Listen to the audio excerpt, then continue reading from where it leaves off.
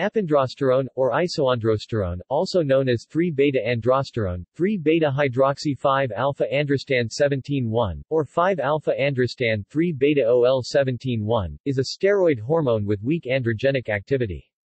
It is a metabolite of testosterone and dihydrotestosterone DHT. It was first isolated in 1931, by Adolf Friedrich Johann Butenandt and Kurt Tscherning.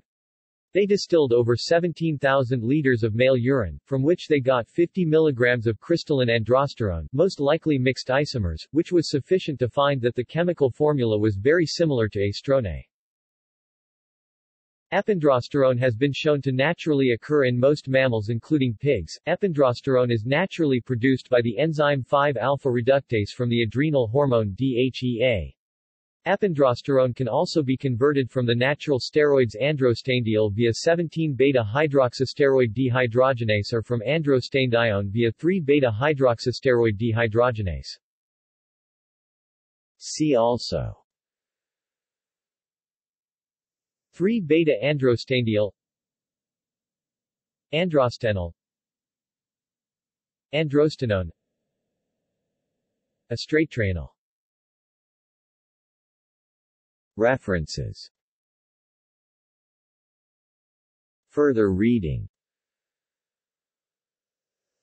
Simons R.G., Grinwich D.L. Immunoreactive detection of 4 mammalian steroids in plants. Can J. Bot 67-288-296, 1989. Janeczko A. Skoczowski A. Mammalian sex hormones in plants.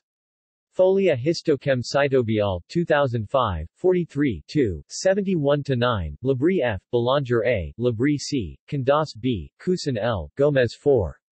J. L. Bioavailability and metabolism of oral and percutaneous dehydroepiandrosterone in postmenopausal women. J. Steroid Biochem Mol Biol, 107, 1-2, 57-69, 2007 Uralets VP, Gillette PA. Over-the-counter delta-5 anabolic steroids 5-ANDROSEN3, 17-dione, 5-ANDROSTEN3-beta, 17-beta-diol, dehydroepiandrosterone, and 19-nor-5-ANDROSTEN3, 17-dione, excretion studies in men. J. Anal Toxicol. 24 3, 188-93, 2000.